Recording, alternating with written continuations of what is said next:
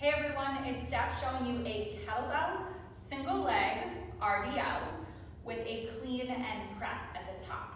So compound movement, we're putting together two movements, clean and press with an RDL. We're gonna place the weight in the hand of the leg that's going to lift.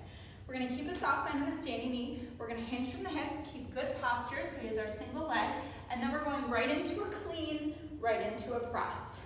So slow and then a little quicker on the clean and press. You're gonna do whatever amount of reps on one side, and then you'll switch to the other side. So it's slow,